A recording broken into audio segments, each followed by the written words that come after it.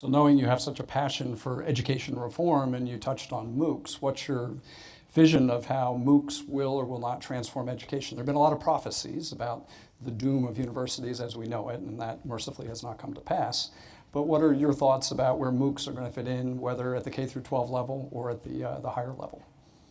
Well, education is essentially a social construct. It's not that the universities have secret knowledge that only they have available. Uh, you know, I took, these numbers won't make any sense anymore, but the hardest freshman math class was called Math 55. Uh, I assume it's not called that anymore. Uh, but it was, it was a group of eight, uh, uh, it was a group of 80 people whose personal positioning was they were the best person at math that they had ever met. So there were 79 frauds. One person who really was the, the best at math.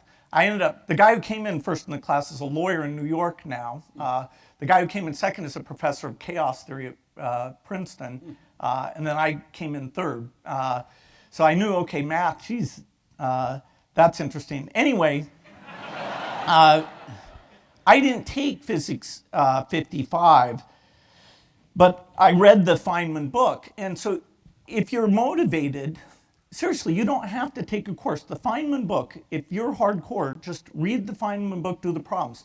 You want to learn to do software? Read The Art of Computer Pro Programming. Good luck doing the problems, but uh, you know anyone that's rated 30 or harder is like super hard to do.